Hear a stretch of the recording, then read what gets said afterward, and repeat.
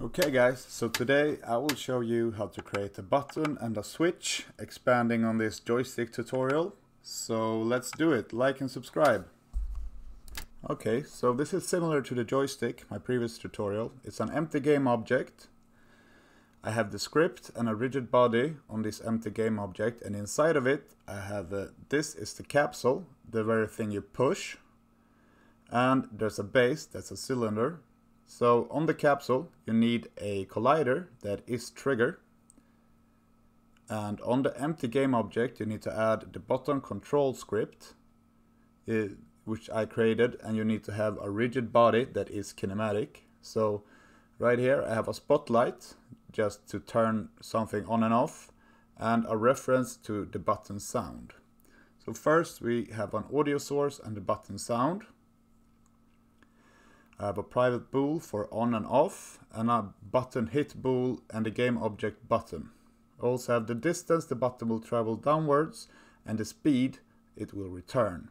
I also have the original Y position and a reference to the spotlight.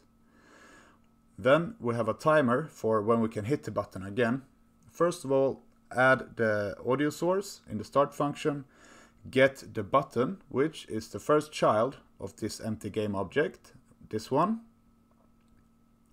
so it needs to be on top in order for get child 0 to work. And then we get the original Y position and we disable the spotlight.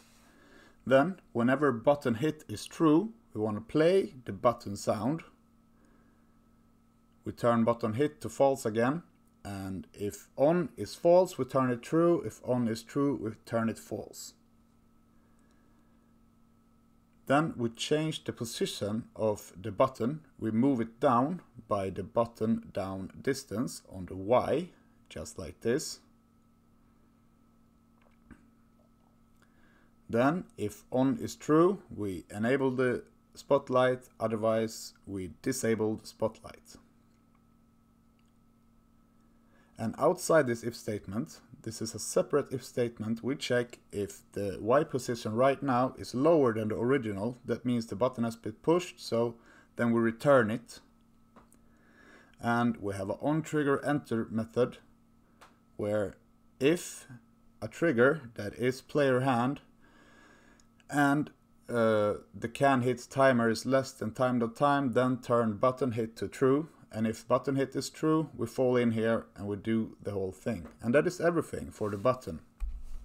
So for the switch, it's the same thing. It's an empty game object with a child, which is the cylinder. And as a child of the cylinder, we have this cube. And the cube has the trigger. The empty game object has the rigid body and it has the script. Make sure the rigid body is kinematic and add the script have a reference to the spotlight and the sound. So same thing here.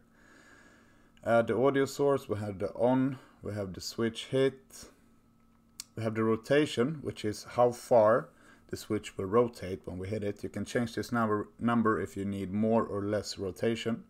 We have the switch base and the spotlight. So add the audio source, get the switch base, which needs to be the first child of the empty game object.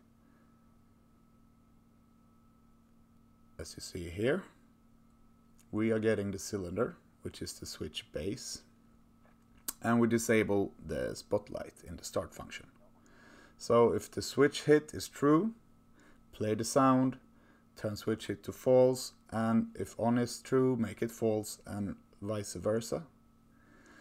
If on is true, enable the spotlight, and add switch rotation to the x-axis.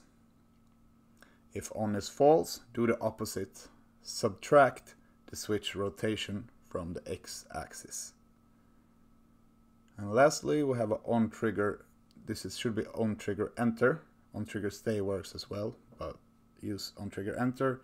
And if the trigger has the tag player hand, this will work. And you need to make sure that whatever you use as the trigger or your hand needs a trigger a collider that's trigger, a rigid body that is kinematic, and it needs to have the tag player hand or whatever tag you choose to use in your script. Now you can use any interaction toolkit and just use these little trigger points at the tip of the fingers or wherever you want to use them. You can also deselect the renderer so they are invisible and just place them at the fingertips or wherever really.